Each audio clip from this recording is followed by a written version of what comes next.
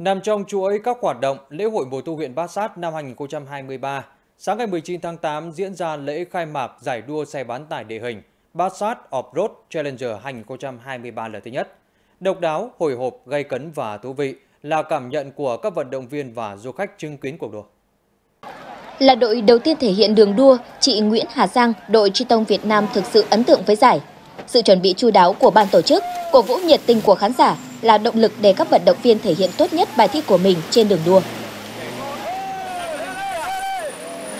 Nhìn thấy uh, mọi người chuẩn bị đo cho một cái giải hôm nay ấy, thì cảm thấy rất là nể phục các bạn ấy và rất là nể phục uh, bà con. Hôm nay mặc dù ngày mọi người đến xem rất là đông nhưng các vận động viên cũng sẽ cảm thấy rất là vui vì khi mà tham gia thi đấu mà có người cổ vũ động viên ấy, thì đấy là một cái trong những cái mà rất là phấn khích đối với những các vận động viên thi đấu tham gia.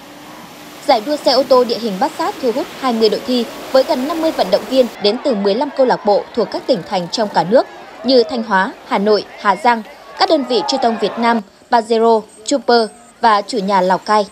Với kinh nghiệm tham gia nhiều giải đua, những pha bứt tốc vượt chướng ngại vật ngoạn mục của các đội đã đem đến cho người xem cảm giác hồi hộp, khai cấn nhưng không kém phần thú vị. Cô rất là đam mê mà thấy rất là tuyệt vời và các bạn là đã ờ, đi vào cái cuộc thi này là tuyển những là các bạn thực ra là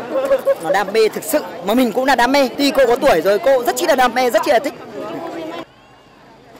Giải đua là sản phẩm du lịch thể thao mới, độc đáo, hấp dẫn nhằm giới thiệu quảng bá tài nguyên du lịch của huyện Bát Sát, đồng thời mang đến những trải nghiệm mới với những người đam mê thể thao mạo hiểm, góp phần quảng bá tiềm năng thế mạnh về du lịch thể thao Bát Sát đến du khách trên khắp mọi miền đất nước. Thì chúng tôi à, xác định đây là một cái à, sản phẩm du lịch đặc thù,